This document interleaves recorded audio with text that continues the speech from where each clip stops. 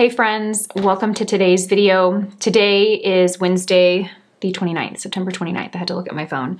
Um, I'm filming this two days after learning of the passing of Mel Thompson, who we all loved so much here in the beauty community. Um, I think it's very apparent by the outpouring of love and um, you know messages and comments and mourning. Like we are in mourning right now. Mel was such a special, special person. You know, she was a person outside of the beauty community, outside of being a creator. She was an incredibly beautiful soul. I mean, just I got to know Mel a little bit over the last year or so. Obviously, we never met in person, but we would communicate on text and through Marco Polo, which is a video messaging app. And she was truly as kind and caring and compassionate and selfless as you would expect her to be by watching her videos. She was amazing. She was such a light and she was, you know, such a special, special part of this beauty community. And, you know, today's Wednesday. I had a lot of videos pre-filmed um, over the next couple of weeks because, you know, we had our big launch last week with Angie and I wanted to get a lot of videos pre-filmed. So I have all these videos that are scheduled over the next week that were filmed weeks ago.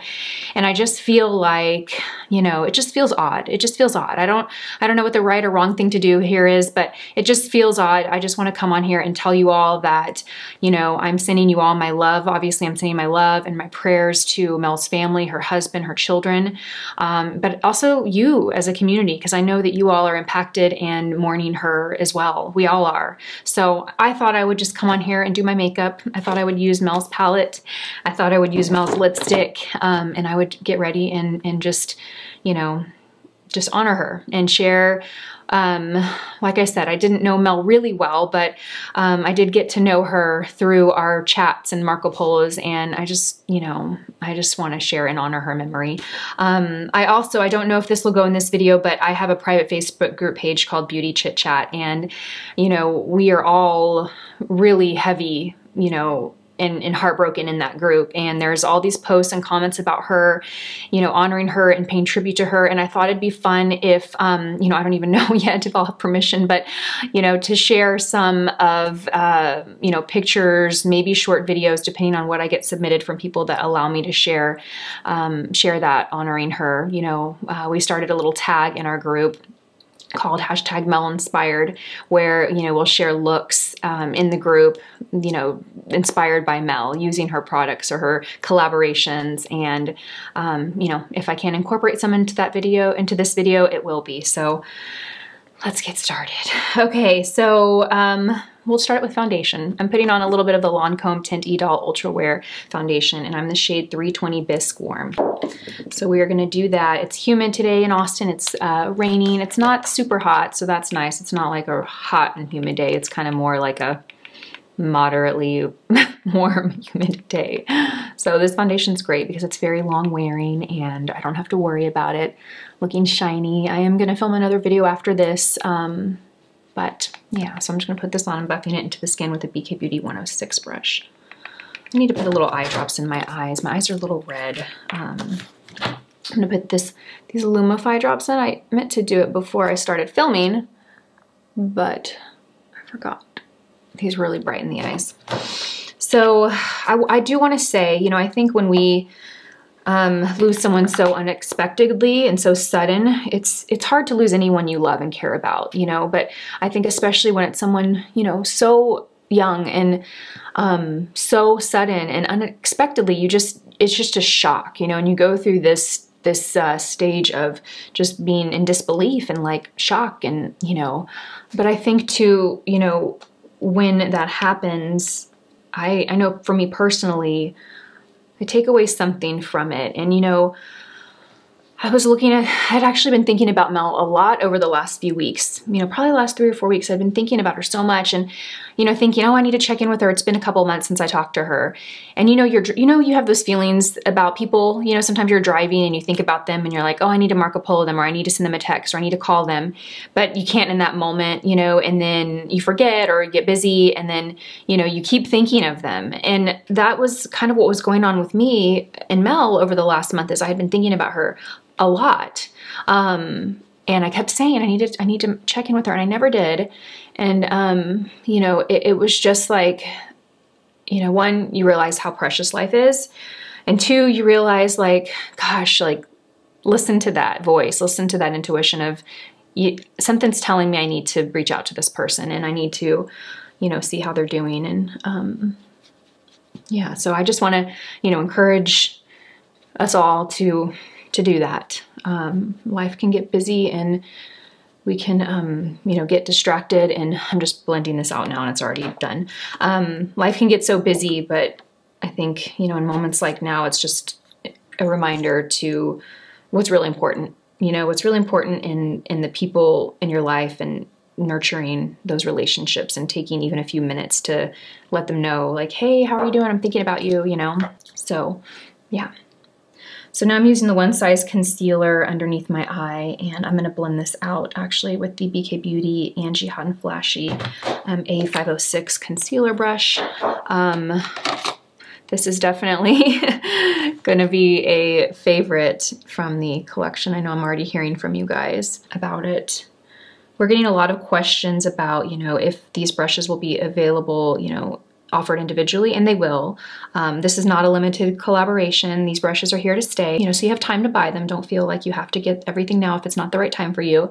Uh, it'll be a couple of months likely before we um, offer them up for individual uh, we needed to first get the inventory to um, you know meet that demand and we needed to get extra inventory of this particular brush uh, so just wanted to answer that question. I've been trying to do a good job of getting to all your questions around this but obviously you know I, I miss some because it's hard you know I, on all the platforms it's hard to keep up with every single comment but I thought I would mention that. This brush just blends it out so quick. It's amazing. It's like a sponge mixed with a brush. I love it. So perfect.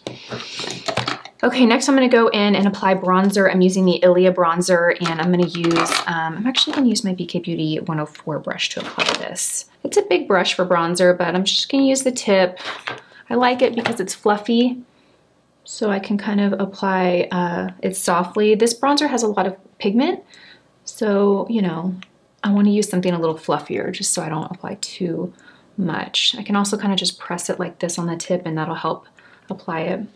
You know, one thing that always inspired me about Mel is how caring she was of other people. Um, you know, and I think, you know, that was obvious in all the times that she just came out to support other creators um, and other people, you know, and she was so outspoken and um, not afraid to be vulnerable and share her struggles and share, um, you know, share other people to help other people. She just didn't even give it a second thought. You know, she just was always led by her heart. And I think that that is really inspiring. And I think that we could all learn from that. Okay, so now that I've got bronzer, I'm gonna go and I'm gonna kind of set the center of the face and I'm gonna use the Laura Mercier um, Translucent Honey Powder.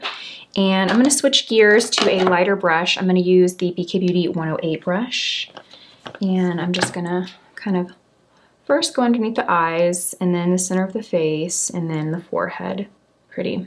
That really contrasts with the bronzer and gives a real kind of baked look without having to put a whole lot of powder there. It's nice. So for brows, I'm gonna use the Charlotte Tilbury uh, Brow Lift. I've really been enjoying this product. Um, when I purchased it, I was thinking it was a different type of product. I thought it was gonna be like a microfine brow pencil, but it ended up being um, more like a thicker, wider tip, but I really like it. Next, I'm gonna use a little bit of blush and I'm using the BK Beauty Angie Hot and Flashy A507. I'm gonna pick up the shade Fresco from Laura Mercier and we're just gonna pop this onto just above the apples of the cheeks and kind of blend up. So for eyes, I'm going to use the Mel Thompson Sydney Grace Tiny Marvels um, collaboration. And I'm going to keep the eyes kind of simple because I'm going to go and use the uh, lipstick Puffin from the Christian Audette and Mel Thompson collab. It's a really bright kind of orangey red. So I want to keep the eyes pretty simple, um, which is unfortunate because this palette is actually so beautiful and has so much bright and beautiful bold colors. Um, I remember when Mel launched this, I felt like she really created uh, the perfect palette for everybody. Like, you know, I stick to a lot of neutral looks here on my channel. You know, I, I will incorporate some pinks, some rose gold, some purples, but for the most part, I don't venture out into blues and greens and all of that. So, um, you know, I tend to be, I tend to gravitate towards powders, uh, powders, palettes that are more neutral. But this one I felt like offered something for everybody because it gave me shades like this was my jam, this is my jam, this is my jam, oh, this is my jam here. Like, but someone that loves bold color would look at this and get so excited too. She did such a great job putting together this palette. I was really, really impressed with, with her ability to do that because putting together a palette is not as easy as you think, you guys. It's really, really not. And I feel like she took everyone into account when creating this. It wasn't just her personal preference. Although, you know, she did, it didn't she do it all? Like she was so creative. I mean, she would do bright, beautiful, bold looks, but then she'd also do very gorgeous, neutral glam. So um, she was so talented. So I'm gonna go in with the shade Tree Hopper and I'm gonna take the A503 and I'm gonna kind of just work this into the crease to give a little bit of definition. This is kind of like an ochre shade.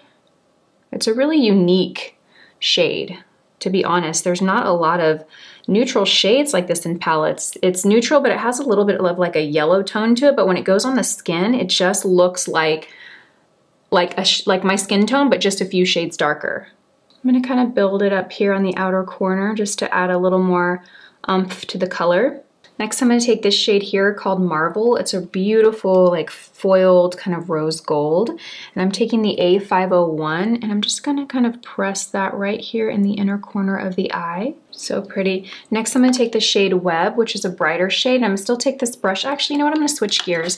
I'm gonna switch gears to the tiny little crease brush, the A504.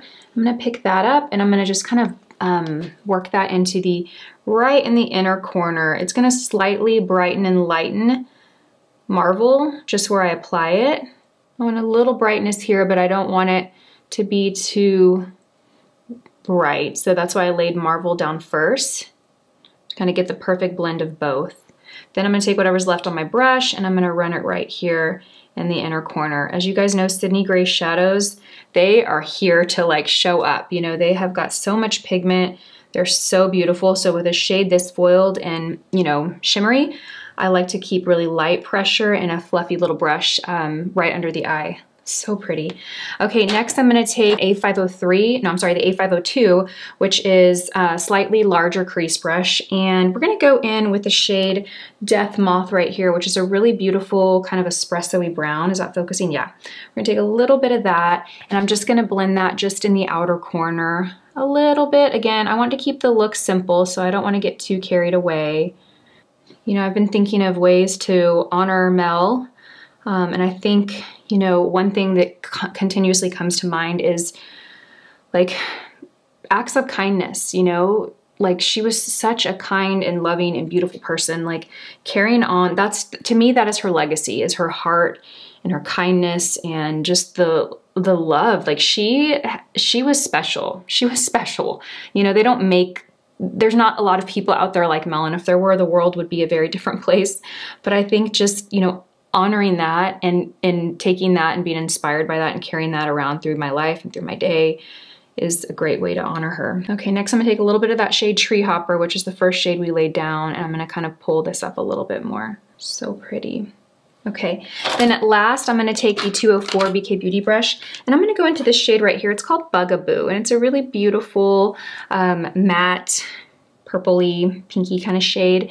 And I'm going to run that on my lower lash line. We're gonna give a little bit of color here. You know, in some cases I find the need to put liner down first because I find that shadow doesn't give you enough opacity sometimes down there, but this, like, look at that. I mean, I don't even need an eyeliner. So I've applied liner and mascara and I also applied a nude lip pencil. Um, that's one little trick I have if you are someone who doesn't really wear bold colors such as like a corally red or even dark vampy colors. Lining your lips with a nude like spice colored lip pencil first is a great way to create that shape of the lip and it also makes applying lipstick like this a little bit easier rather than lining with a lip liner that matches this. Sometimes you know if you don't get that line perfect it's such a bold lip pencil and lip pencil is so pigmented that it can be a hard thing to fix. So just use a nude kind of spicy lip pencil and then um, go over it with your lipstick. Such a fiery orange red. I love that. So corally. It's like a beautiful, is this more red or more orange? It's like a perfect blend of both. So this completes this look. I hope you guys enjoyed this video. Um, please, please leave your tributes, sentiments, thoughts about Mel, what she meant to you in the comment section below. You know, this was just my small way of, um, you know, kind of just processing what we are dealing with and what we're going through. It's, it was a hard, hard terrible loss and she will be missed, you know, certainly by me and I know by all of you. Um, thank you guys for watching this video. Like I said, stick around. I will include other uh, photos, perhaps videos. I don't even know yet. I need to post in my group and see, you know, who would like to share. I know that we all have, um, you know, so much. We're just processing a lot right now. So I love you, Mel. We love you. I'm sending you guys all my love and my, um, you know, just sending you strength and, and healing during processing this terrible loss to our community. All right, you guys, I will see you in my next video. Bye. To Mel, thank you so much for being an inspiration. Your positive light glows through your smile and your creativity. Thank you for always inspiring so many people to be their best self inside and out. Much love to you and your family. You'll always be remembered.